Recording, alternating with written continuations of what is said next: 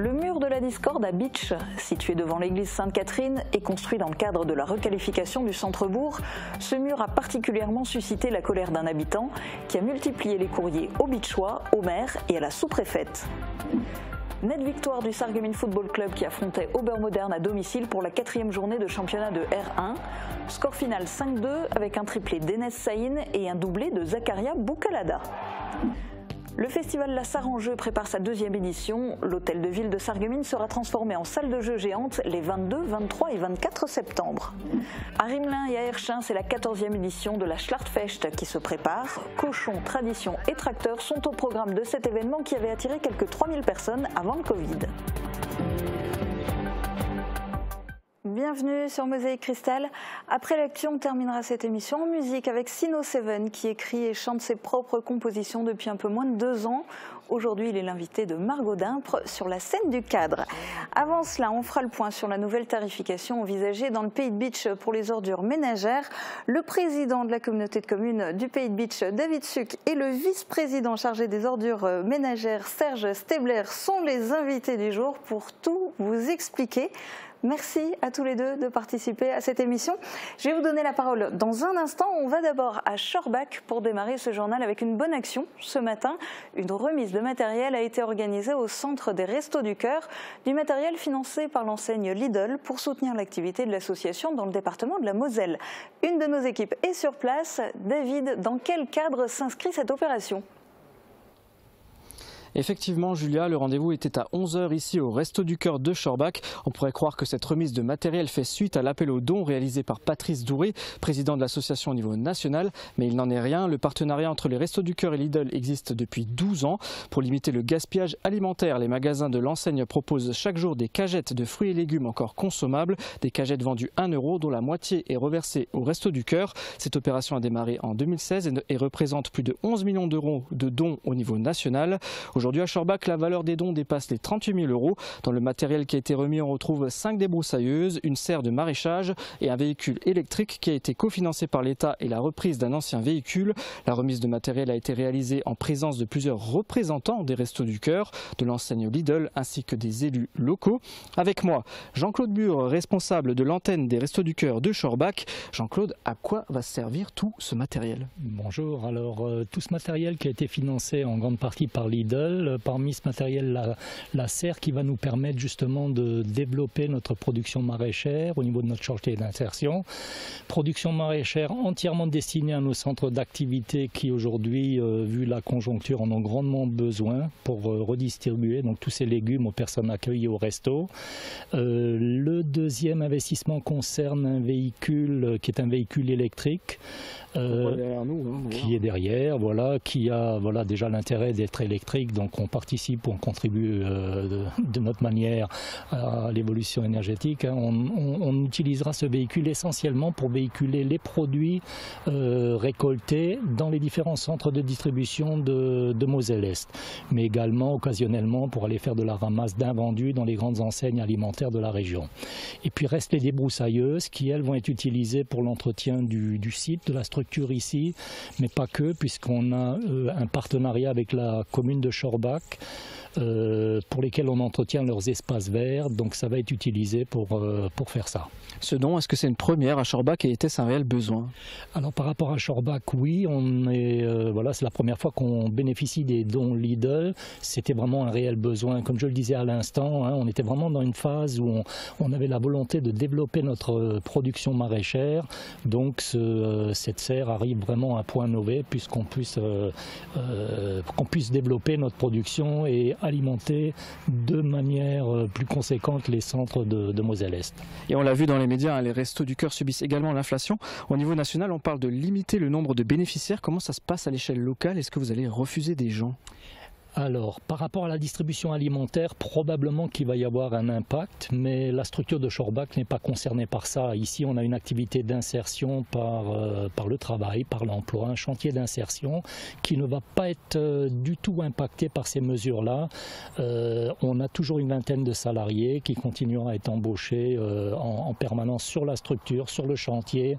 Donc, il n'y a pas d'impact à ce niveau-là, non. Eh bien, merci d'avoir été avec nous ce midi. Merci à vous, bonne journée.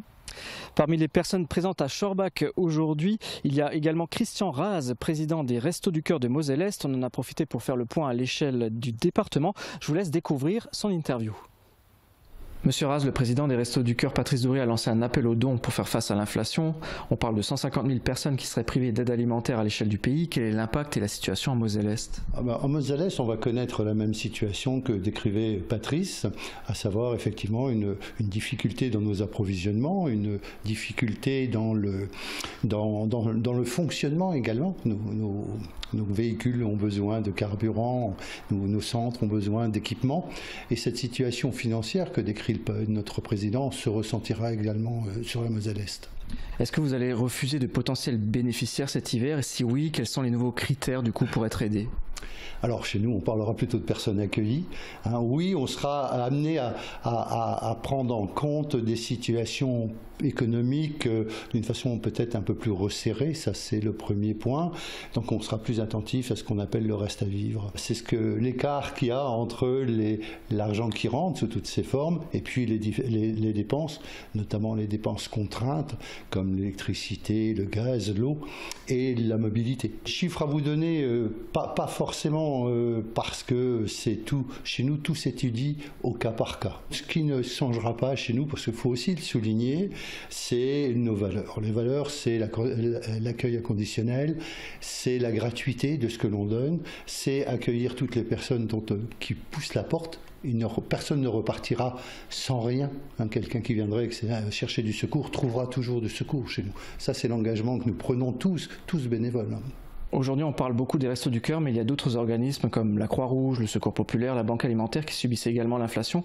Pourquoi les Restos du Cœur sont-ils davantage menacés? Je vous fais référence à la fameuse phrase fermée d'ici trois ans. Oui, alors fermé d'ici trois ans, ce n'est pas une phrase euh, mise en l'air. Hein. Pourquoi nous sommes menacés? Parce que nous, nous sommes une des seules associations qui achetons plus de 30% de nos produits. Nous, distribuons 175 millions de repas, dont on finance à hauteur de 30%. Ce qui veut dire qu'on est directement impacté par l'augmentation des, prix, hein, tels que le connaissent d'ailleurs l'ensemble des ménages. Ces mesures que nous prenons, qu'on a appelées des mesures d'urgence et d'austérité, sont des mesures aussi qui ont pour vocation à nous permettre d'être encore là dans les prochaines années. Je crois que c'est aussi ça qu'il faut que nous acceptions et que nous comprenions. Nous souhaitons être là encore dans un an, dans deux ans, dans trois ans. Et oui, d'après les dires de Christian Raz, la Moselle-Est n'est pas épargnée. Aujourd'hui, c'est une belle opération, une belle journée pour les Restos du Cœur de Schorbach, mais l'hiver risque d'être difficile. À long terme, on espère que la situation s'améliore pour l'association. Eh merci David et puis merci à Emilia Zell pour les moyens techniques. Focus à présent sur la tarification envisagée dans le pays de Beach pour les ordures ménagères. Alors on va tout de suite clarifier les choses pour les téléspectateurs. On parle aujourd'hui uniquement de la poubelle à couvercle Bordeaux, celle dans laquelle on met les sacs bleus et les sacs verts. Elle est collectée une semaine sur deux et vous payez cette collecte sous forme de taxe d'enlèvement des ordures ménagères. C'est une ligne à part qui figure sur l'avis d'impôt foncier. Ce sont donc les propriétaires qui la payent et le cas échéant la répercute à leurs locataires. Mais tout cela pourrait changer et je parle au conditionnel car pour le moment c'est une phase de test qui est lancée euh, dans le pays de Beach. Vous envisagez de repasser à une redevance et tant qu'à faire une redevance incitative. Euh, votre but c'est un, calcul réel du montant en fonction des déchets de chacun? Bah, Notre but c'est évidemment de retrouver une tarification plus juste. Aujourd'hui, euh, l'eau et l'électricité sont payées euh, en fonction de la consommation et je crois que tout le monde partage le principe que lorsqu'on adhère à un service, lorsqu'on consomme un service, on doit pouvoir trouver une contrepartie euh, dans ce service et que la tarification prenne en compte la façon de consommer le service. C'est le rôle de la redevance. Et donc cette redevance incitative qu'on souhaite mettre en place, elle devra s'appuyer naturellement sur la justice et le juste prix parce que c'est important, une redevance doit trouver son équilibre, et puis ça doit euh, inviter euh, les populations, les usagers à tenir compte de la qualité du service, voire d'y accompagner, euh, accompagner, de l'accompagner avec quelques décisions que chacun peut prendre. C'est évidemment essayer de réduire les volumes. on a vu hein, les, tarifs qui ont été affichés à l'instant à l'écran. vous les avez calculés comment? Ben, en fait, euh, on, est parti du, budget nécessaire pour euh, couvrir la globalité du service euh, sur l'année. Et donc, ce budget était en fonction du nombre de foyers répartis sur, le territoire pour rentrer effectivement dans la couverture de nos coûts. Et on a réparti effectivement, on est parti sur différents strates, les foyers de 1 à 2 personnes, les foyers de, de 3 et 4 personnes et les foyers de plus de 5 personnes. D'accord. Alors vous le disiez, euh, David Suc, c'est pour une tarification plus juste. Je suppose que ça veut dire aussi que certains dans l'histoire euh, risquent d'être amenés à payer plus, d'autres devraient être amenés à payer moins. Euh, est-ce qu'au passage, il y a aussi une économie qui peut se faire pour la communauté de communes? Alors, une tarification plus juste, et pour compléter effectivement les propos de Monsieur le Vice-président, on sait aujourd'hui le coût des ordures ménagères pour le Pays de Beach, c'est 5 800 000 euros. Et donc, euh, à partir de là, il s'agit ensuite, considérant qu'on a 18 euh, 950 foyers à peu près, il, convient ensuite d'essayer de répartir justement. En répartissant justement, nous avons déjà 1700 foyers aujourd'hui qui payent une taxe alors qu'ils ne profitent pas d'un service. Ces 1700 foyers ne paieront demain plus, euh, naturellement, de taxes d'enlèvement d'ordures ménagères. Des logements qui sont vacants? C'est ça. Euh, nous avons évidemment dans ces 5 800 000 des contributions des communes qui payent aujourd'hui 10 euros par habitant que la commune ait beaucoup de poubelles ou peu de poubelles, elle paye de manière forfaitaire. Le rôle de la tarification euh, incitative, c'est de faire payer le juste prix à tout le monde. Les premiers bénéficiaires seront les communes qui vont payer en fonction du nombre de bacs. Les premiers bénéficiaires, c'est ceux qui n'utilisent pas de service, qui paieront plus. Et donc, euh, dans la déclinaison telle que ça a été décrit par le vice-président, l'objectif aujourd'hui, c'est de pouvoir équilibrer un budget naturellement, on imagine de diminuer les volumes, puisqu'on sait, euh, et la statistique et les statistiques et le bureau d'études, toute la littérature est claire, lorsque les gens passent à une redevance, bah, ils vont essayer de mieux trier, puisque vous l'avez dit, incitatif, vous l'avez dit euh, en, entrée euh, d'émission, on parle que du bac Bordeaux. L'autre bac aujourd'hui n'est pas concerné puisque les multimatériaux aujourd'hui ne répondent pas à des charges très très lourdes, ou au moins aussi lourdes que ceux euh, qui sont dans le bac Bordeaux, puisque ce qui est dans le bac Bordeaux, c'est le sac vert et le sac bleu, il y a un coût à l'élimination. Et donc on a, on a cheminé dans ce, dans ce raisonnement-là. Naturellement, qui dit une tarification plus juste, et comme on sait que la taxe d'enlèvement des ordures ménagères est une taxe euh, qui n'est pas juste puisqu'elle est arbitraire, c'est en fonction du volume, euh, du euh, local, elle est en fonction de la valeur locative. Naturellement, il y a des gens qui paieront plus cher. Mais je crois que ces gens-là peuvent mesurer qu'aujourd'hui le système est plus juste, peuvent mesurer aussi la chance qu'ils aient eue, puisque pour ceux qui vont payer un peu plus cher, ce sont d'autres qui ont payé à leur place.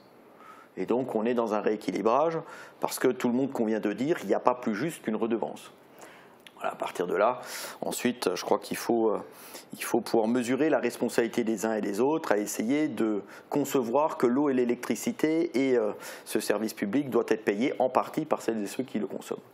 Donc, c'est pour que ça soit un tarif plus juste aussi bien pour les habitants que pour les communes, puisque l'intégralité du, euh, prix n'est pas euh, financée par les habitants. Il y a cette fameuse part de, la, de chaque commune dont vous parliez. Euh, et au niveau de la CCPB, est-ce que ça change quelque chose ou, ou pas?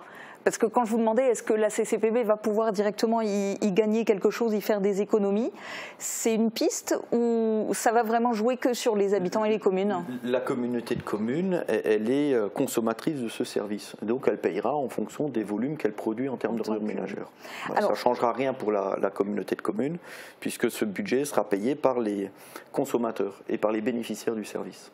Alors si ce n'est qu'il y a quand même eu déjà un coût, ne serait-ce que pour faire cette phase de test, euh, notamment bah, tout ce qui est le fait qu'il y ait des puces dans chacune des, euh, des poubelles Bordeaux, le fait qu'il y ait aussi le système pour que ça puisse être lu par chacun euh, des camions de collecte. Ça coûte combien à peu près?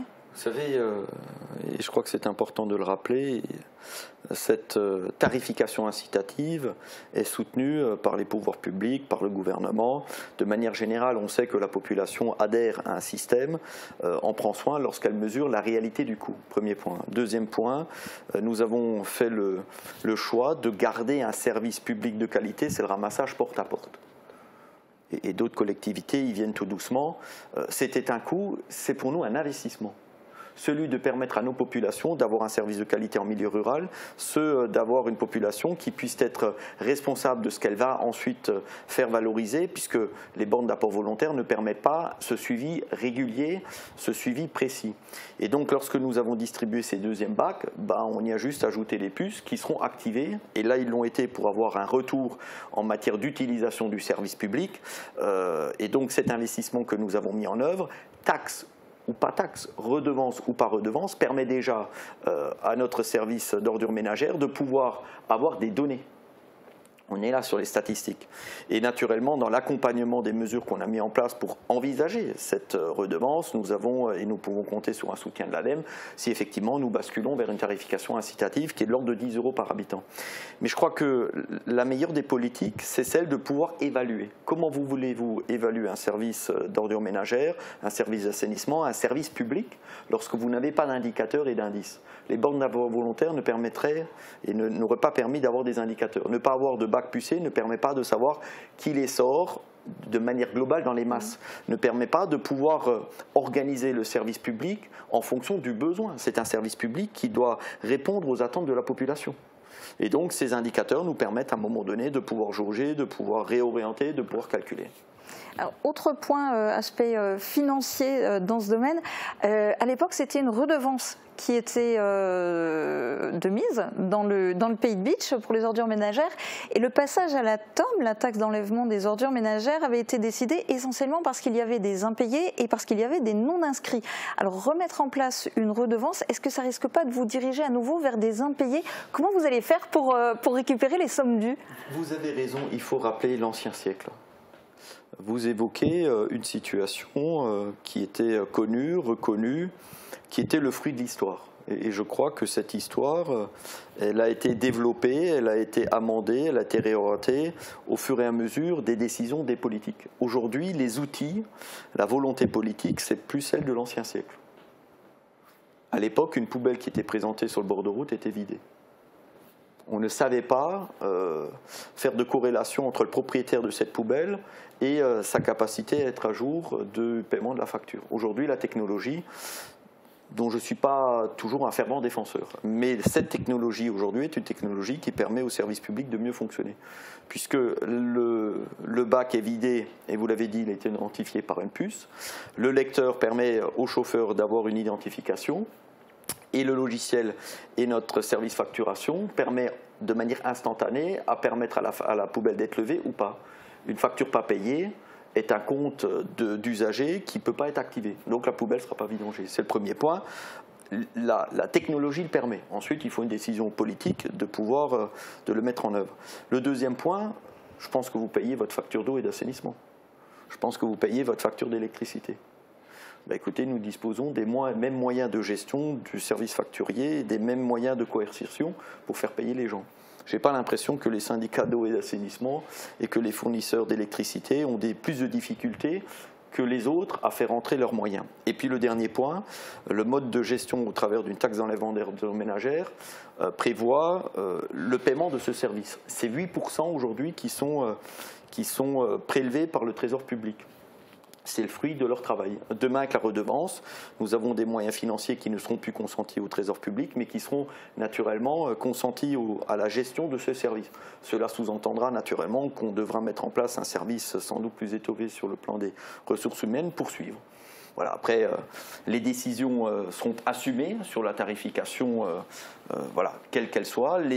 la gestion sera assumée par le personnel communautaire de faire recouvrir ces factures. Alors, autre point euh, sur lequel il y, a, souvent des interrogations, c'est au niveau des logements collectifs.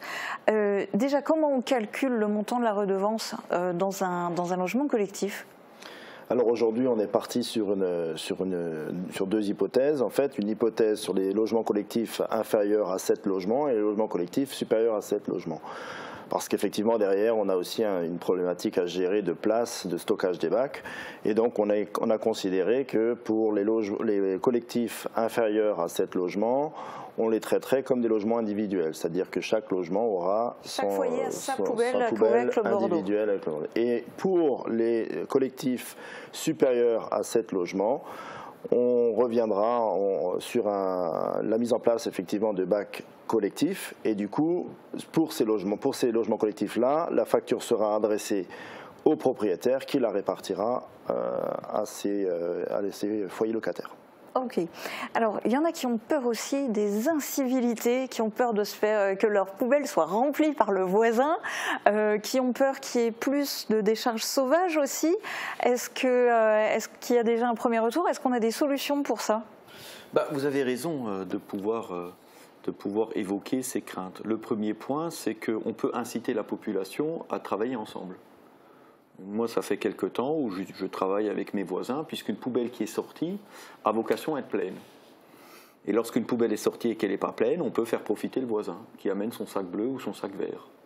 Vous avez euh, l'exemple sur Sarrebourg et nous sommes beaucoup appuyés sur l'exemple de Sarrebourg puisqu'ils sont à la redevance depuis deux ans. Nous sommes beaucoup appuyés euh, évidemment sur les contributions de ces 13 comités de pilotage qui se sont réunis.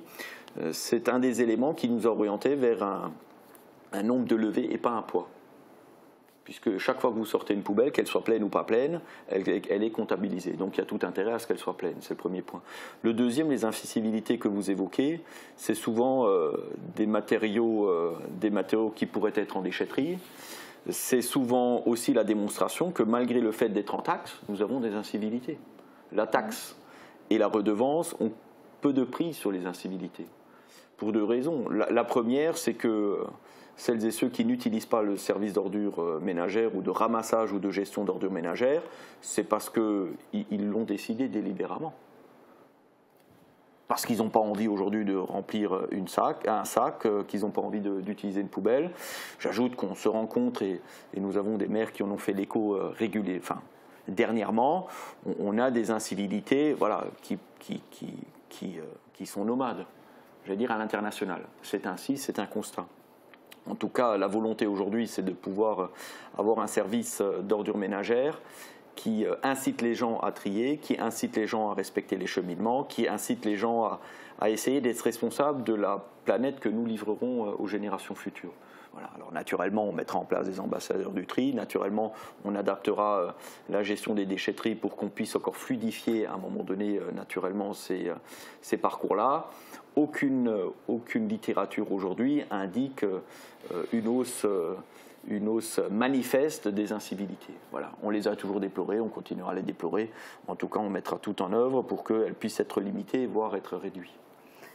Tout autre aspect, je m'interroge aussi par rapport aux dates. En fait, je me pose la question parce que cette redevance incitative, elle est donc pour le moment en phase de test, mais ça fait déjà deux mois.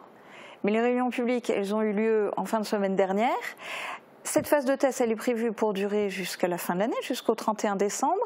Mais si l'idée, c'est ensuite de réellement instaurer cette redevance incitative à partir du 1er janvier, en fait, vous ne pouvez pas attendre le 31 décembre pour trancher, pour décider. Il va falloir que vous, que vous votiez ça avant au Conseil communautaire.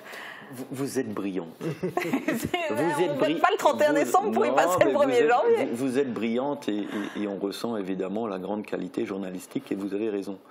Euh, les réunions publiques, on ne voulait pas les faire en période estivale. Je crois que, évidemment, les gens profitent euh, des moments en famille, profitent euh, des congés, profitent euh, naturellement pour se reposer. Premier point. Deuxième point, on ne peut pas lancer le test avant de l'avoir décidé.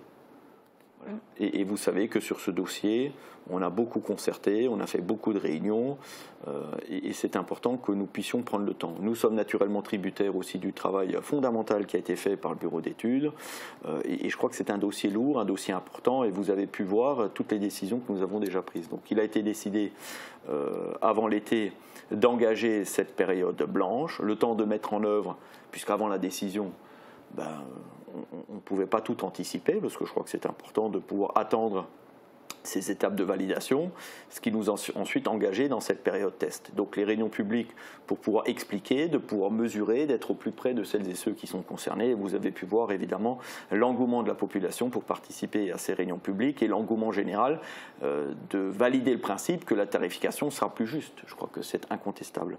Et donc naturellement, euh, ces choses-là sont lancées. Vous imaginez bien que nous aurons quelques mois de recul déjà qu'on pourra imaginer évidemment euh, par de la triangulation ce que cela peut donner. Et ensuite, euh, cela fera partie des décisions que nous aurons à prendre pour que cela puisse être mis en œuvre au 1er janvier. Le reste, ensuite, c'est de l'intendance, c'est du calendrier de conseil communautaire, etc. Et on gérera au mieux. Mais je crois qu'il y a une vraie volonté aujourd'hui, euh, c'est d'avancer sur le dossier. Ce sera aux élus de décider ensuite, euh, en, définitive, voilà, comment cela peut se mettre en œuvre, à partir de quand cela doit être mis en œuvre. En tout cas, ce qu'on peut euh, ressentir aujourd'hui, c'est l'engouement d'aller vite, d'aller plus vite déjà sur ces dossiers-là. Voilà, on essaie de prendre le pas de temps qui est le plus adapté. Est-ce que vous avez réussi au cours de ces réunions publiques à rassurer aussi, parce qu'il y en a pas mal qui sont sceptiques, qui ont fait remonter euh, euh, leur mécontentement, leur crainte dans ces, dans réunions? La grosse interrogation, elle est notamment par rapport à l'hygiène, par rapport aux odeurs. La plupart ne sont pas du tout convaincus de pouvoir ne sortir euh, leurs poubelles qu'une fois par mois pour, euh, pour rester dans les 13 levées et le, forfait de base, entre guillemets. Euh, qu'est-ce que vous arrivez à leur répondre, si ce n'est effectivement peut-être de faire, euh, certaines personnes ont pris l'habitude de faire du covoiturage, bah, qu'ils fassent du, partage de poubelles pour, pour les sortir une fois sur deux? Oui, enfin, Serge complétera. Je crois que c'est prendre un raccourci. Vous savez bien que sur la question des ordures ménagères, on a pris un certain nombre de décisions je pense qu'il y, a une satisfaction plus générale déjà, déjà au travers du mode de ramassage que ce qu'on peut observer sur d'autres territoires. Je ne vais pas revenir sur les bornes d'appel volontaires. Il y a une unanimité aujourd'hui de considérer que c'est un bon outil qui peut être utilisé, celui des composteurs je crois que c'est important de le rappeler, qui diminue déjà euh, évidemment la part de ce qui va se retrouver dans la poubelle au travers du sac vert. Il y a unanimité au travers des 11 communes tests de valider le principe que ce complément, en dehors de l'abri-bac, en dehors du composteur, c'est l'abri-bac, on peut ramener euh, régulièrement, puisque c'est vidanger une fois par semaine, tous ces déchets putrescibles, ce qui permet évidemment de ne pas les mettre dans le composteur et de ne pas les mettre dans le sachet vert, dans la poubelle. Il y a unanimité aussi à considérer qu'au travers de la latitude que nous laissons, on peut peut-être imaginer sortir la poubelle plus régulièrement en été et un peu moins souvent en hiver.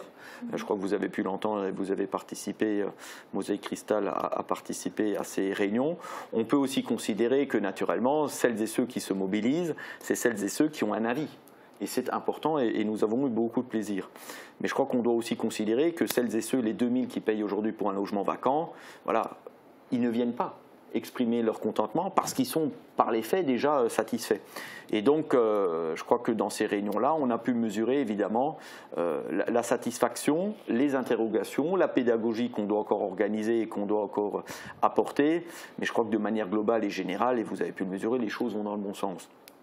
Ensuite, il faut considérer aussi que c'est en avançant qu'on apprend à marcher. Et donc euh, la population euh, voilà, doit pouvoir prendre le temps, de pouvoir euh, être à l'écoute pour être accompagnée dans ces nouveaux modes opératoires. Oui, ça s'accompagne, c'est un état d'esprit, c'est un service public qui change.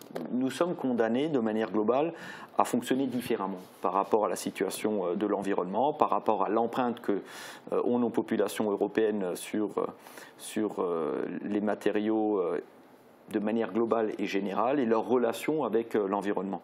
Et donc euh, voilà, c'est d'accompagner la population, en tout cas la tarification incitative permet de garder ce lien très direct entre la consommation du service et la tarification et, la, et le paiement de celui-ci. Je crois que c'est important de le rappeler. Et vous êtes vraiment dans une notion de tarification plus juste, ce qui veut dire pas forcément une baisse, au contraire, pour certains, ça va augmenter, en particulier en fonction du, euh, nombre de, euh, levées. Euh, il y a des opposants qui ont mené une étude sur les communes de Anvillers, Sturzelbronn, Lambach et Rimelin. Alors d'après eux, même avec 13 levées par an, il y aurait une augmentation du coût selon la composition des foyers. 18 à 94% d'entre eux auraient un montant de redevance supérieur à l'heure actuelle. Tom, est-ce que ça correspond, vous, à vos estimations? Écoutez, l'étude que nous avons menée par un bureau indépendant, bureau Optae, financé euh, lorsqu'on ira à la tarification par l'État, n'arrive pas aux mêmes conclusions. Moi, je reconnais les études officielles, premier point. Deuxième point, euh, je crois que dans ces 11, 13 comités de pilotage, l'ensemble des éléments ont été mis sur la place. Et, et vous avez raison de le dire, 60% de la population paiera moins cher naturellement, il y a de la population, et on peut le regretter, qui paiera plus cher. Est-ce qu'on peut regretter pour autant que le juste prix entre le coût de la tarification aujourd'hui et ce qu'ils payent est payé par les gens qui vont diminuer leur, leur facture? Est-ce qu'on peut trouver juste que des gens, et ils sont 1700 50 à peu près, payent un service qui ne consomme pas, c'est les logements vides. Est-ce qu'on trouve juste que des communes payent 10 euros par habitant un service qui consomme en fonction du nombre de bacs alors que la tarification, c'est en fonction du nombre d'habitants? Et donc, en remettant de la justice, en sachant que la redevance, aujourd'hui telle qu'elle est calculée, c'est 5 millions d'euros de recettes. Au moment où vous parle, la communauté de communes encaisse 5 millions 8. Donc la redevance fera déjà l'illustration que nous allons encaisser moins. Le delta, c'est parce qu'on sait que des populations vont consommer un peu plus de services au-delà des 13 levées. Une levée supplémentaire, c'est euh, pour un bac de 120 litres, 2,30 euros. Pour un bac de 240, 4,60 euros. Vous imaginez bien que cette levée supplémentaire payée, facturée à 2,30 euros ou 4,60 euros, ce n'est pas le juste prix c'est la démonstration que nous sommes évidemment dans un accompagnement pédagogique et sortir une poubelle en été un peu plus à 4,60 euros. Voilà, je ne vais pas vous parler du prix de la baguette, du prix de la cigarette. Ces mêmes élus que vous évoquez ont acquiescé sur une augmentation de la redevance de 36%. Ça ne leur posait pas de problème même dans des communes où il n'y a pas le début d'un moteur électrique, alors qu'on nous avait expliqué que la redevance assainissement allait augmenter parce que l'électricité a augmenté.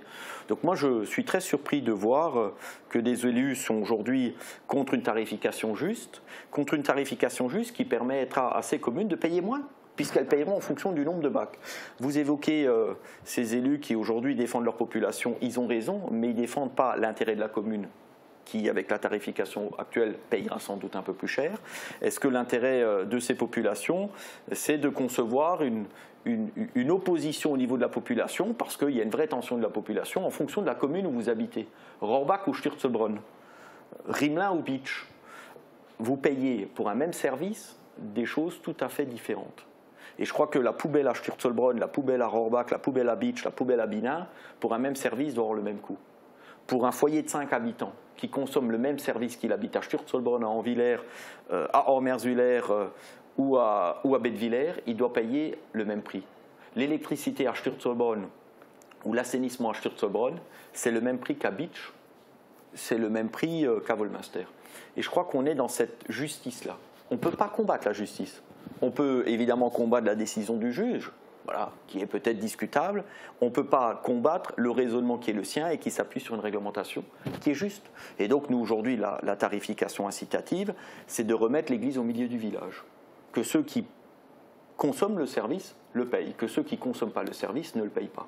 Et je crois que c'est important aussi de pouvoir le mesurer. Voilà, après, comme vous l'avez dit, c'est l'opposition. Voilà, on peut regretter que ce soit une opposition qui, sur ces sujets-là, soit, soit moins. Euh, moins professionnelle et qu'elle n'ait pas contesté l'étude qui va être livrée aux financeurs, l'étude qui a été livrée évidemment euh, à la sagacité du Conseil communautaire, qui est l'étude officielle et qui s'est appuyée sur les chiffres officiels. Voilà. Vous savez, euh, en je pense qu'il faut en rester aux faits. Alors, en, prenant euh, compte de tous les faits, en résumé express, on est encore en phase de test, mais vous deux, vous êtes déjà convaincus à 100%.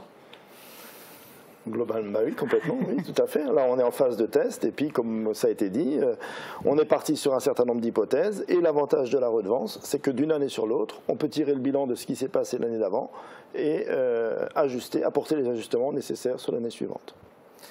On est complètement convaincu, puisque la redevance est par définition juste. Vous n'avez pas un territoire, vous n'avez pas un redevable qui trouve que la tarification est injuste puisqu'ils payent tous le même service. Ils peuvent trouver que, que le service coûte trop cher, on peut trouver que l'eau et l'électricité coûtent trop cher. On ne revendique pas que la tarification repose sur un calcul injuste. Et donc, euh, c'est de, mettre de cette, justice dans le mode de tarification qui, pour nous, est important. Ensuite, les choses peuvent évoluer. C'est le rôle de la redevance. L'année prochaine, on regardera à la fois sur les coûts, à la fois sur un redéploiement s'il le fallait. C'est aussi la définition de la redevance. Voilà, avec quelques clauses particulières, la clause grand âge, cette, cette, cette volonté d'essayer d'avoir un service qui réponde évidemment euh, à cette volonté intergénérationnelle avec des gens qui ont besoin peut-être d'avoir des bacs plus grands, d'avoir un ramassage supplémentaire. On peut le faire et le pratiquer dans le cadre d'une redevance. La taxe ne le permet pas. Et bien, en tous les cas, merci beaucoup à tous les deux d'avoir euh, répondu à toutes ces questions, d'avoir éclairci les situations en direct sur Mosaïque Cristal. On pourrait l'appeler le mur de la discorde, le mur érigé devant l'église Sainte-Catherine dans le cadre de la requalification du centre-bourg de Beach continue de faire parler. L'aménagement est toujours en train d'être travaillé. Jean-Luc Corbasson, habitant de Beach, a fait savoir son mécontentement il y a plusieurs semaines contre cette structure en béton et sa configuration. Il a adressé plusieurs lettres au Beachois, au maire Benoît Kiffer et à la sous-préfète Dominique Laurent. Il propose de changer cet aménagement et de supprimer le mur actuel. Il nous donne son point de vue au micro de Thibaut Desmerlet. Monsieur Corbasson, vous avez il y a quelque temps eh rencontré le maire Benoît Kiffer euh, au sujet du mur et vous avez aussi posté quelques lettres sur les réseaux sociaux. Pourquoi êtes-vous intervenu par rapport à ce mur?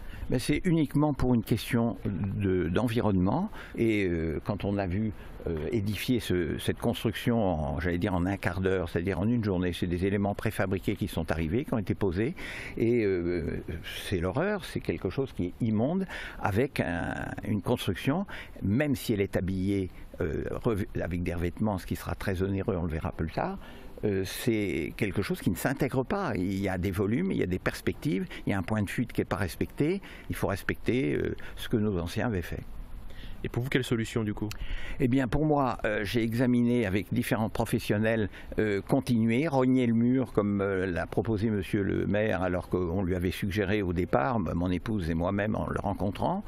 Et puis mettre une, comme il dit, une barrière métallique, c'est-à-dire de la ferronnerie, ce qui serait beaucoup mieux d'ailleurs qu'un mur sur lequel les gamins vont monter. Euh, c'est très onéreux. C'est très très onéreux, ça va coûter de l'argent. Alors je vais choquer peut-être euh, les téléspectateurs qui m'écouteront peut-être. Euh, ce mur, il faut le démolir. Non seulement on paye un mur, mais on va en payer trois. Le, revêtement intérieur, deuxième mur, le revêtement extérieur, troisième mur. Il faut faire des fondations pour mettre le grès, l'habiller et ensuite mettre une couvertine. Et surtout qu'on peut faire beaucoup mieux. Et moi, je suis pas là pour me battre contre Monsieur Kiffer, je suis là pour l'aider. S'il veut m'écouter, je le souhaite parce que euh, je suis décidé à aller jusqu'au bout et je ne vais pas m'arrêter là. Je ne vais pas m'arrêter là. Je n'ai pas d'autre ambition que ça. Euh, moi, si je peux m'effacer et ne plus parler demain, j'en serai très heureux. Mais euh, si Monsieur Kiffer ne prend pas les décisions qui s'imposent, eh bien, on continuera la lutte et là, on part pour des, années sans doute de procédure. Donc pour vous, ce que vous avez fait, ce n'est pas un coup politique? Absolument pas. J'ai 77 ans. Vous imaginez bien que j'ai aucune ambition politique. Moi, je suis ouvert à toute discussion avec M. Kiffer et je l'invite surtout à bah, essayer d'écouter pour trouver la solution il faut l'aider. Il faut aider M. Kiffer. Sa position n'est pas du tout facile.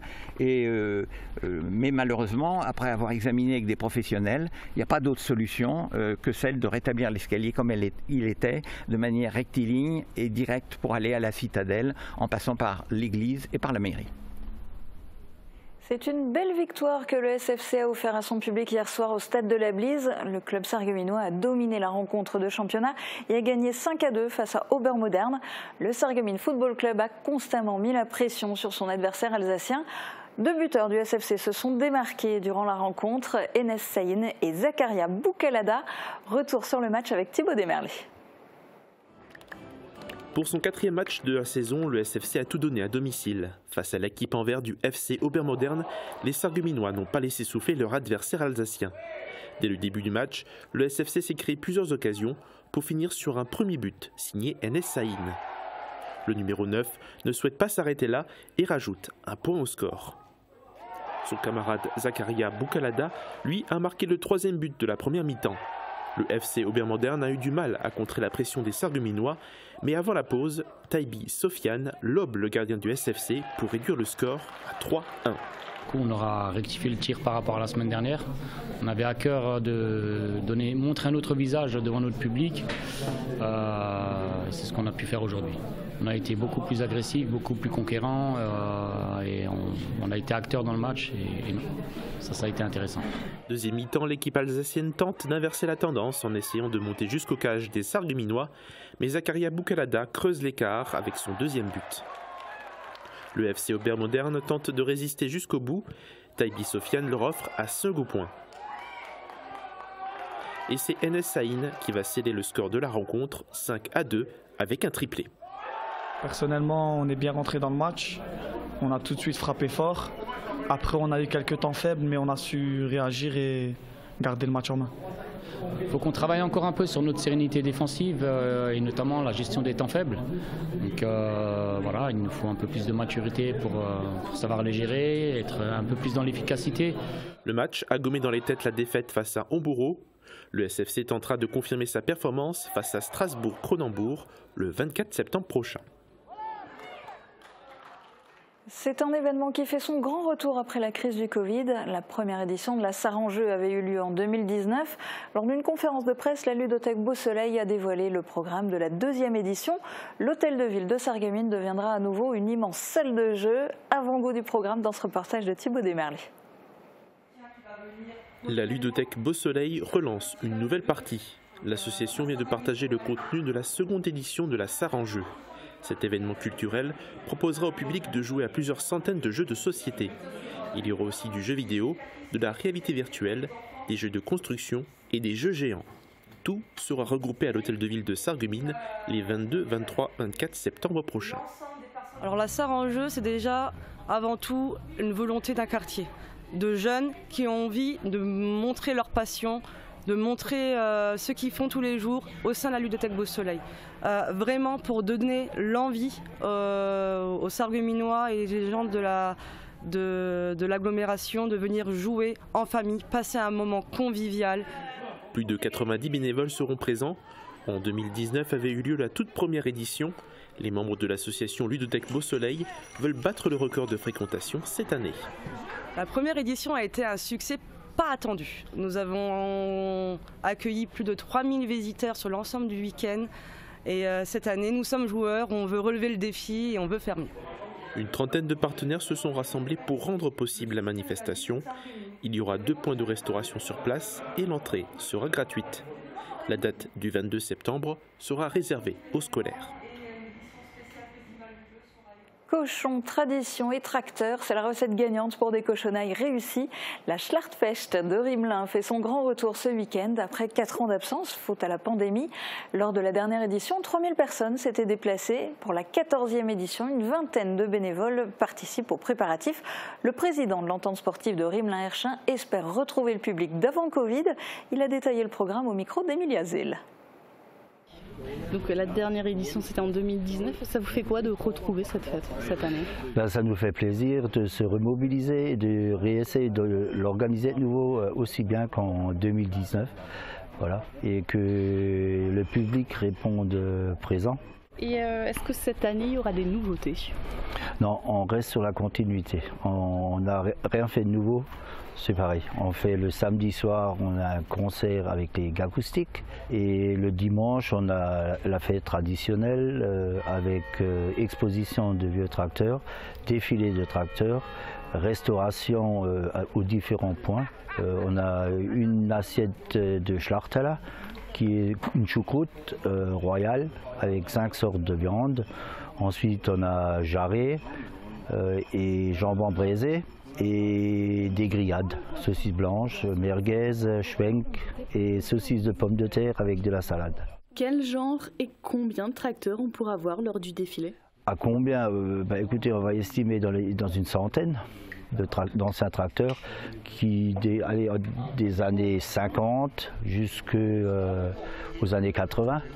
Mais j'ai entendu que certains voulaient aussi venir avec des tracteurs plus neufs, plus récents. Dans un instant, on termine cette émission en musique avec Sino Seven sur la scène du cadre, juste après les prévisions de Météo France pour demain. Protégez et mettez en lumière votre maison avec toutes les nuances de crépi proposées par Modern Habitat.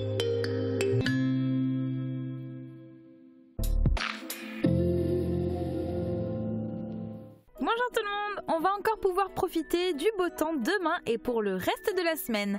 La matinée débutera sous quelques nuages, mais au fil des heures, ce sont les éclaircies qui l'emportent. Côté température, les minimales iront de 10 à 11 degrés et les maximales de 25 à 26 degrés. Demain, pensez à souhaiter une bonne fête au Roland et il fera jour de 7h11 à 19h49. Passez tous une belle journée et à demain!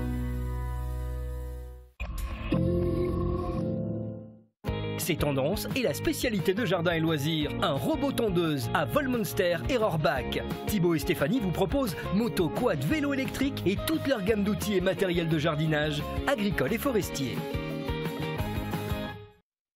Bricoman, la qualité pro pour vos chantiers. Plus de 200 marques référentes dans le bâtiment. 20 000 produits indispensables de la construction et de la rénovation. Disponibles immédiatement en libre service, en retrait 2 heures ou en livraison. Chez Bricoman, vous pouvez compter sur des équipes compétentes et proches de vous pour accompagner tous vos chantiers.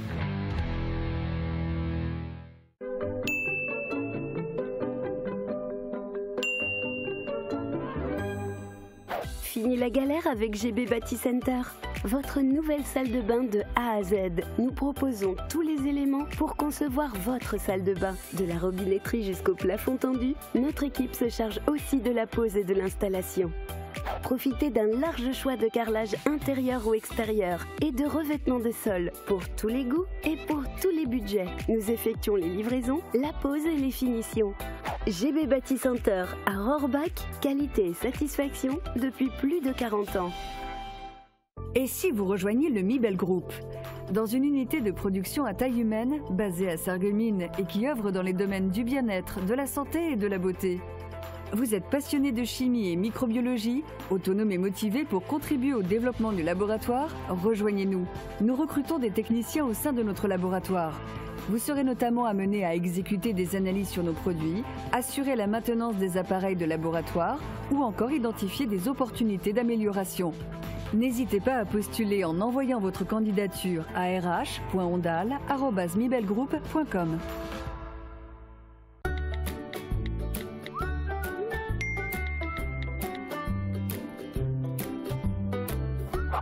L'aglo ajuste et améliore sans cesse le nombre de ses bornes ainsi que la fréquence de leur vidage. Mais surtout, ne jetez pas de sacs pleins ni de cartons pliés car cela fait perdre beaucoup de place dans les bornes. Quand les bornes sont pleines, il ne faut surtout pas laisser vos déchets au sol parce que comme vous le voyez, les véhicules ne sont pas équipés pour récupérer les sachets individuels. En plus, ça incite les gens à faire la même chose. Lorsqu'une borne est pleine, nous vous conseillons de vous diriger vers une autre borne. Afin de connaître les emplacements les plus proches, vous pouvez utiliser l'application mobile du CIDEM, la CIDEM App. Vous pouvez également communiquer l'information à l'aglo en téléphonant au numéro vert inscrit sur toutes les bornes. Le tri évolue. Pourquoi pas nous?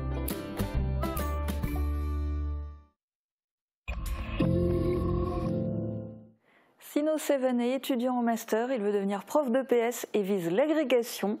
Mais côté loisir, sa passion c'est le rap. Fan de section d'assaut, il écrit et chante ses propres compos. Sino Seven est l'invité de Margot Dimpre cette semaine dans le cadre.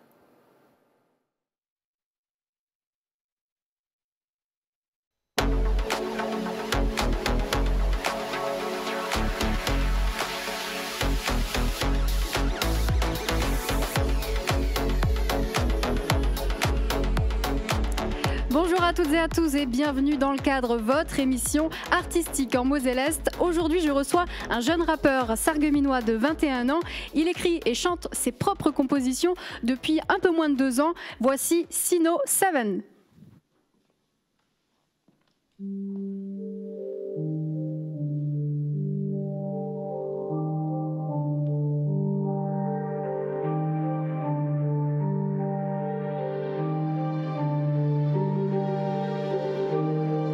C'est le 7, tu le sais.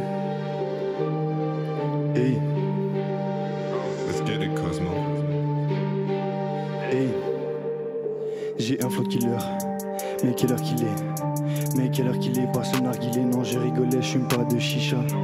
Sino Seven, putain qu'il est bon. Ton père le fuck, y'a un heure qu'il dead. Glacé en vent en rêvant de Kishta. Tu t'es planté comme une heure qui décon. J'arrive dans le game, je refaire la déco. Y'en a trop qui déconnent. Dès que je me login direct, tu te déco. Bientôt frein, je vais faire le décompte. 5, 4, 3, 2, 1. Je suis jet lag à Orly, quelle heure qu'il est? Je flex là sur ma Rolly, quelle heure qu'il est? Tu dors mal, insomnie, quelle heure qu'il est? Quelle heure qu'il est, quelle heure qu'il est, quelle heure qu'il est? Souvent trop chaud, des shorts, pas des pantalons. Dashi, j'ai plus aucun talon. Je regarde sous le pied, sous mes veines, sous mes souliers. Oui, je déborde de talent. Oh, sur la prod, j'ai les talents. Comme un golo et le ballon. Et on me dit que je suis galant et que j'ai le flow d'un étalon. Ne parle pas trop, sinon on va te découper ta langue. Quelle heure qu'il est? Quand je peux c'est lourd comme 4000 kilos. Appelle-moi Galilée. Dans l'oculaire, j'ai tout le cosmos. J'arrive explosé comme Oxmo. Sur la prod de Cosmo. Mon flow en osmo, je t'envoie de la grosse prose, je suis costaud. Je veux, je t'envoie à l'hosto. Le flow entêtant, toujours dans les temps, ça peut vite partir dans tes dents. Je suis un grand blanc dans l'océan, t'es un petit étard dans les temps. Depuis longtemps, j'ai capté que depuis longtemps, on court après les graines du sablier. On s'oublie, on se bat contre les aiguilles, tout ça pour remplir les billets. On collectionne des milliers sans pour autant en profiter. Je parle pas d'argent, même si être riche c'est tentant. Je parle à capturer son contenant, sachez profiter du temps. Je suis jet lag à Orly, quelle heure qu'il est Je flex là sur ma Rolly, quelle heure qu'il est. Je suis dors mal, insomnie, quelle heure qu'il est. Quelle heure qu'il est Quelle heure qu'il est Quelle heure qu'il est. Je suis jet lag à Orly, quelle heure qu'il est. Je flex là sur ma Rolly, quelle heure qu'il est. Tu dors mal, insomnie, quelle heure qu'il est. Dites-leur qu'il est l'heure, dites-leur que je suis l'élu. Sino Seven sur la scène du cadre. Bonjour Sino. Salut. Comment ça va? Ça va bien et toi, merci. Ben, ça va très bien, je suis ravie de t'accueillir. Euh, on commence avec Quelle heure qu'il est, donc un morceau que tu as écrit. Donc c'est des compositions personnelles que tu nous proposes euh, aujourd'hui. Ouais, c'était le deuxième Quelle heure qu'il est. C'était le deuxième. Alors d'abord, avant de, on va en parler hein, de toutes tes, toutes tes chansons, mais avant Sino Seven, ça vient, ça vient d'où? Pourquoi ce pseudo? Alors ça vient de de moi, ça vient de moi. Je vais pas expliquer exactement ce que c'est, mais ça vient de moi.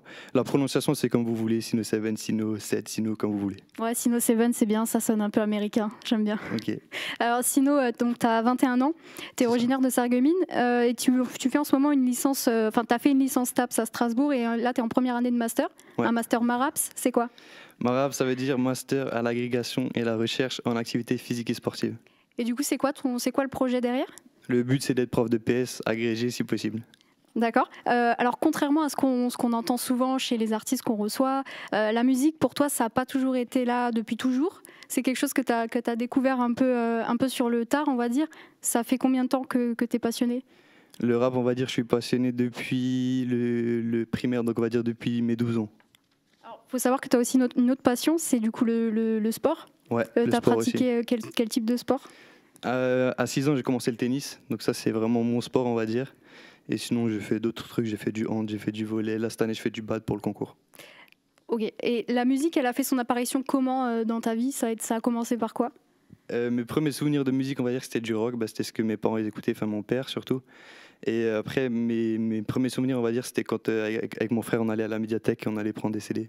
Alors c'était du rock, c'était quoi? C'était euh, ACDC euh... ACDC un petit peu avec mon frère et sinon le premier artiste on va dire que j'ai vraiment kiffé c'était Jimi Hendrix. Ouais, Jimi Hendrix, la base quoi. Ouais, ouais. et du coup comment t'es passé de, de, de, du hard rock à, à, du rap quoi? Je sais, je saurais pas vraiment t'expliquer. C'est en fait quand j'ai entendu Section d'assaut au, primaire, je crois que c'était en CM2, j'ai entendu ça et j'avais jamais entendu ça et j'ai vraiment, c'était un coup de cœur. Quel, euh, quel, groupe? Il y a un groupe en particulier qui t'a donné le déclic où tu t'es dit ouais c'est ça que je veux faire? Ouais, Section d'assaut section d'assaut. Qu'est-ce qui t'a plu dans, leur musique? Je sais pas, c'était le, rythme, les instrus, les, les flots, les paroles. Euh, c'était quelque chose vraiment qui, qui m'a passionné. Et de manière générale, le rap, pour toi, euh, qu'est-ce que, en quoi il est différent des autres, euh, des autres styles? Alors, question compliquée, mais je sais pas, c'est presque proche du parler, on va dire.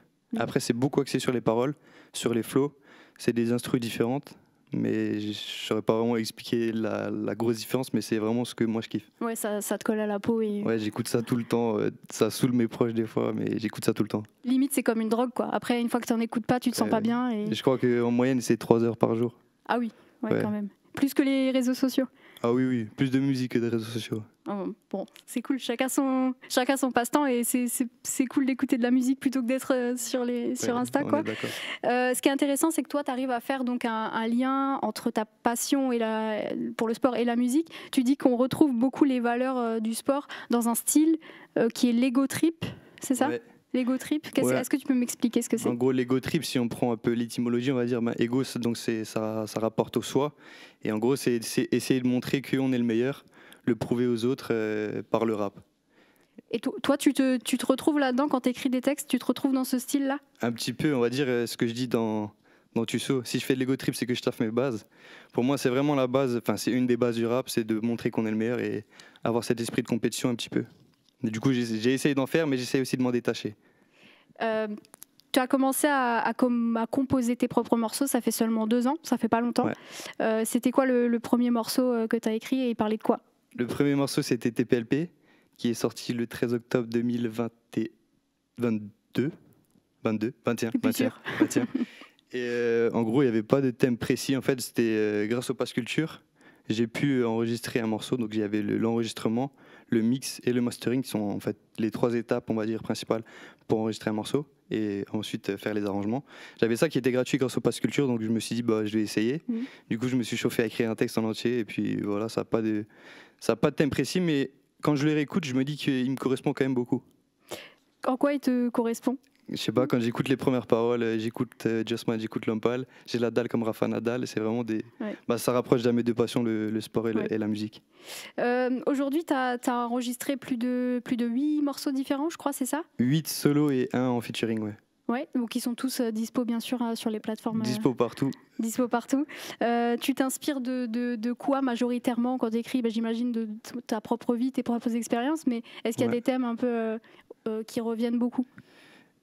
Des thèmes qui reviennent beaucoup. Ou un thème principal euh, qui, qui motive tout ton, tout ton travail Il y a- Ah, si on dit, si je pouvais expliquer un thème précis, enfin, ce que j'essaie de, de promouvoir, c'est essayer de promouvoir l'ouverture d'esprit. Mhm. Donc, essayer que les gens puissent euh, avoir d'autres perspectives. C'est un, c'est un beau message. Euh, je crois que tu joues du piano aussi, c'est ça hein, Tu me disais, Ouais, euh, ça. t'as appris en autodidacte. J'ai appris, d'abord j'ai pris des cours, après je continue en autodidacte. Euh, Sino, t'enregistres, t'enregistres où Tu m'as dit tes morceaux? À Strasbourg, j'ai commencé à Kiel avec un, un homme qui s'appelle Rectape Studio. Et là, je suis chez un autre plus près chez moi à Strasbourg qui s'appelle Jim Beam. Je le remercie pour tout son travail. Et ensuite, euh, donc il y a l'étape de mastering aussi. Ouais. Ça, c'est euh, Bessinski, il s'appelle maintenant. D'accord. Donc tu ouais, tu travailles pas seul, hein, tu as, plein de, personnes autour de toi, tu as aussi des, des gens qui, qui font tes designs de, de pochettes, je Ouais, crois, c'est ça, Au début, les deux premières, je les ai faites seul. Bon, c'était pas incroyable. Ensuite, je me suis, je me suis rapproché d'un ami qui fait du- de la modélisation 3D Mm. et qui maîtrise aussi tout ce qui est outils visuels. Donc, Max, merci à toi. Et ensuite, euh, ben, la, le, le dernier, la dernière personne dont j'ai besoin, c'est celui qui fait les instrumentales. C'est donc des beatmakers, on appelle ça en, en rap. Et je les trouve sur YouTube en fait. Je passe, euh, je passe aussi pas mal de temps hein, durant la semaine à, à regarder sur YouTube des instrus. Je cherche, je cherche et dès que j'en aime bien, je mets dans une playlist. Et puis après, euh, j'achète une licence pour pouvoir utiliser leur travail. Et donc voilà. D'accord. Ils sont tous français, ceux que j'ai utilisés, juste pour dire. Voilà, ça, Des beatmakers français. voilà, ça promouvoit un peu le, le travail aussi des, des artistes Ouais, français. Qui sont très talentueux. Ouais, bah c'est ça, qui, il faut aussi les, les mettre en avant. Euh, donc je disais, donc tu avais sorti, euh, as sorti 8 morceaux, 6 rien qu'en 2022. Et il y en a un en particulier euh, que j'aimerais euh, j'ai- j'aimerais qu'on en parle. Bah, tu vas le chanter d'ailleurs après, mais euh, c'est JSP. Ouais. JSP, euh, donc euh, ça parle un petit peu de, de la vérité qu'on peut pas toujours connaître ou qu'on croit connaître et qui est pas forcément celle qu'on croit. Ça. Euh, le refrain, si je peux me permettre de le citer, donc ça dit Pourquoi s'énerver quand la vérité on ne peut pas l'avoir, quand raison on ne peut pas avoir, si on peut l'avoir, au moins l'apercevoir? On veut toujours tout savoir, tu sais toi, moi je sais pas. Ouais, à peu près ça. Il y avait une petite erreur, mais c'est ça, ouais. Il y a une petite erreur de si on ne peut prononciation. pas. Si on ne peut pas manquait l'avoir. la négation, mais c'est ça, ouais. Ouais, c'est ça. C'est euh, un morceau qui parle de. Enfin, qui s'inspire de, de quoi? De, de gens que tu as pu connaître? Euh, Euh, ça pourrait être un peu mon père des fois. Ouais. Et sinon, ouais, euh, bah, ça peut être moi aussi des fois. Être trop obstiné à, à vouloir avoir raison, c'est quelque chose que, que j'ai voulu un petit peu dénoncer. C'est quelque chose qui t'énerve au quotidien. Ouais, quoi. ça m'énerve un petit peu, mais des fois, j'en suis, j'en suis le cas. hein. Bah, on l'est tous un petit peu On comme ça. tous un euh, petit peu. Des fois. Mais le tout, Ouais. c'est de s'en rendre compte. Ouais, c'est ça. Euh, tu dis que, tu dis que c'est le morceau qui représente le plus ton, ton univers? J'ai l'impression que c'est celui qui représente le mieux mon univers, ouais. À l'heure d'aujourd'hui, ouais, j'ai l'impression. Eh ben, on va le découvrir euh, juste après. Avant ça, j'ai une dernière question. Si maintenant tu pouvais faire un duo avec un artiste, lequel tu choisirais? Je, je pense que la première, euh, la première personne qui vient à l'esprit, ce serait L'Homme Pâle. C'est mon deuxième gros coup de cœur de, de rap, ce serait L'Homme Pâle. Eh ben, pourquoi pas un jour? Pourquoi pas? On peut toujours rêver. On peut rêver. C'est permis. Il faut. Et euh, bah, du coup, euh, je te laisse euh, peut-être nous chanter donc, deux derniers morceaux. Donc tu disais, donc, ben, je le disais avant, donc il y a JSP. Et le deuxième, Et le deuxième, donc celui d'avant, ce sera Sérieux. Sérieux. Et après JSP. Et JSP, et ben Sino Seven. La scène est à toi. Merci.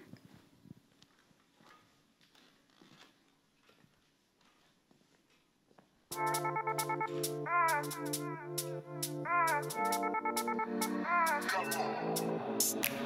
J'apprécie les polos où il y a le logo avec le poteau qui fait du polo dessus. Ah, J'aime bien les pattes avec de la bolo dessus. Être trop sérieux, c'est pas rigolo, je t'assure. Ralph Vance, je mets des hauts, je brille. Je suis paresseux, la voix décaressée. Ses parents séparés, c'est pas et c'est horrible. Changement climatique, la météorite. Dissimule faible estime sous ego trip. Les lyriques sur le beat, j'ai mes rythme. J'arrive du ciel comme une étoile filante.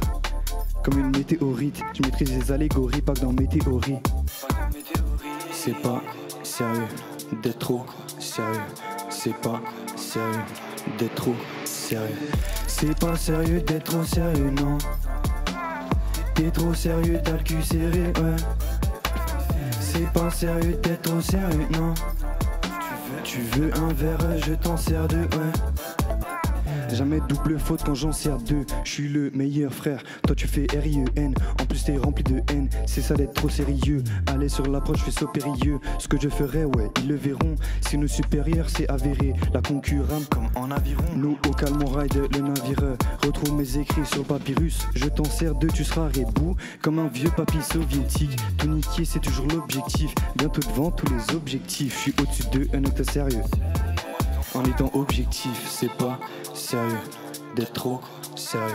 C'est pas sérieux d'être trop sérieux. C'est pas sérieux d'être trop sérieux, non. T'es trop sérieux, t'as le cul serré, ouais. C'est pas sérieux d'être trop sérieux, non. Tu veux un verre, je t'en sers deux, ouais. C'est pas sérieux d'être trop sérieux, non. T'es trop sérieux, t'as le cul serré, ouais. C'est pas sérieux d'être trop sérieux, non. Tu veux un verre, je t'en sers deux, ouais.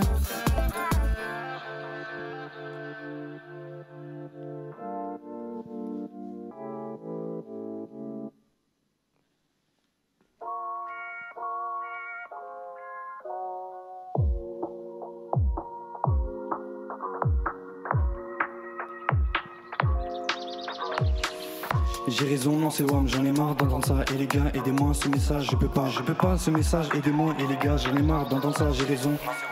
C'est le 7, tu le sais, hey. Y a-t-il une vie à la fin de celle-ci? Va-t-on stopper de monter en Celsius. Sur taf ta meilleure gestu Si ça part en 7, je me barre sur Neptune. On trouve pas de ce terme, mais sur la lune. Tu veux du feu? Mais le 7, c'est sur la lune pourquoi des frontières et pas seulement un continent Si un dit tu fais chier, est-ce un compliment Question coule à flot comme le 20 continents Beaucoup de ça, les dernières phases contiennent pourquoi les riches sont les plus avares? Pourquoi continuer quand on a marre? Comment sommes-nous meilleurs pour la guerre? Pour soigner un cancer À quoi sert la vie? Y en a-t-il une autre sur terre? D'où vient-on? Où va-t-on? Quand sait-on Tu sais toi? Moi non. Comment le papier peut valoir plus que de l'argent ou de l'or? Alors tout ça c'est de Ça rend la chimiste plein de douleur C'est quoi votre problème avec les couleurs? Merci Relson, on peut être blanc et rapper sans venir de la rue Pourquoi il me fait pas ma marche seule tranquille dans la rue. Comme un l'a battu, il arrive, j'écoute la concu, ça m'en il arrête. J'ai raison, non c'est WAM, j'en ai marre d'entendre ça. Et les gars, aidez-moi ce message, je peux pas, je peux pas ce message, aidez-moi et les gars. J'ai raison. Pourquoi s'énerver quand la vérité on peut pas l'avoir Quand raison on peut pas avoir Si on peut pas l'avoir, au moins l'apercevoir On veut toujours tout savoir. Tu sais toi, moi je sais pas. Je sais pas, je sais pas, je sais pas non je sais pas, la vérité on peut pas la voir. Dans le rap game ça Jacques Sabrel qui a Vlad Blé, Vlad Avoine Mais très peu retrouver le niveau de Jacques Brel ou de Balavoine. Quand on a que le savoir, ma raison ma bataille. Faut qu'avoir raison, je le morceau en une session. Tempera depuis la section, prends pas le son comme leçon Ça sera bresson. Quand il y aura plus de questions. Les il faut sont plus souvent des honteux. Je sais pas et j'en suis pas honteux S'assouvir du savoir et de la certitude, c'est donner à l'ignorance en servitude. Et toi, qu'est-ce que t'en penses? Faut-il tout ait un sens? Rien n'est défini, tout semble bien complexe. Comment vais-je bien pouvoir finir mon texte? J'aurai pas le dernier mot dans ce couplet, lequel sera le dernier? J'ai raison, non c'est WAM, j'en ai marre d'entendre ça. Et les gars, aidez-moi, ce message, je peux pas, je peux pas ce message, aidez-moi, et les gars, j'ai raison.